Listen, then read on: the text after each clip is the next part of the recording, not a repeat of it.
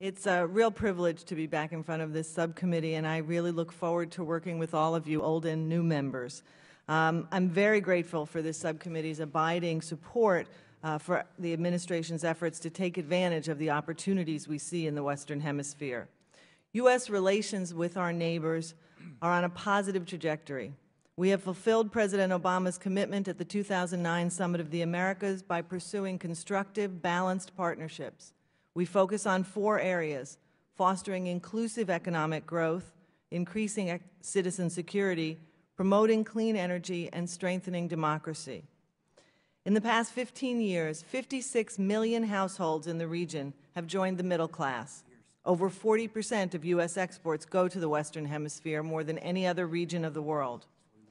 We are working to increase those numbers through trade promotion agreements with Colombia and Panama. Last summer, Canada and Mexico joined the Trans-Pacific Partnership negotiations, which also include Chile and Peru. We hope to conclude these negotiations as quickly as possible. These developments translate into more jobs, better and cheaper goods and services, and rising prosperity on main streets across the United States. However, in some countries, policy reforms are needed to accelerate economic expansion and create greater opportunity to make sure that prosperity is more widely shared. And that is a shorthand way of talking about vulnerable populations such as Afro-descendants, indigenous, women, LGBT persons. In order to counter the threat posed by criminal gangs and violence, we have expanded and linked our four citizen security programs, the Merida Initiative, the Central American Regional Security Initiative, the Caribbean Basin Security Initiative, and the Colombia Strategic Development Initiative. Through a whole-of-government approach, we are focusing on institutions and capacity building while encouraging economic development. U.S. assistance has helped create a dramatically improved security situation in Colombia. In Mexico, our partnership with President Peña Nieto's administration is off to a strong start, with both sides committed to addressing crime and violence through durable, long-term cooperation. We're partnering with Colombia and Mexico and others to help Central America address its security challenges. Today I'd like to highlight three particular areas of challenge and opportunity, energy, education, and the defense of democracy. The Western Hemisphere is increasingly a global supplier of energy. Companies and entrepreneurs who never focused on the region are waking up to its enormous potential. At the 2012 Summit of the Americas, the United States and Colombia launched Connect 2022, a hemispheric initiative to provide universal access, access to affordable electricity within a decade.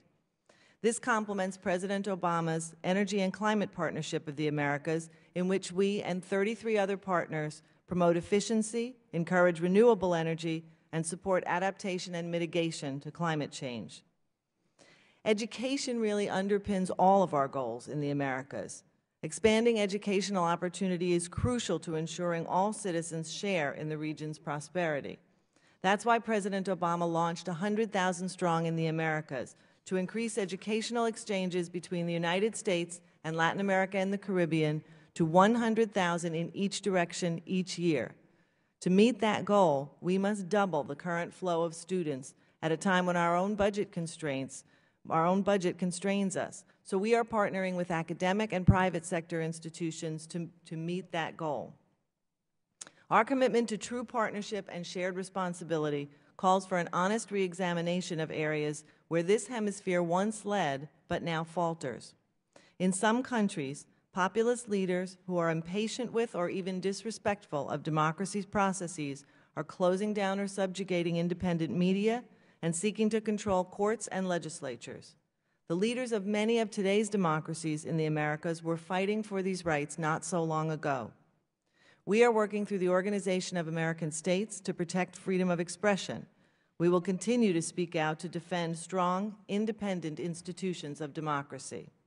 In sum, our policy of partnership and shared responsibility has produced real progress.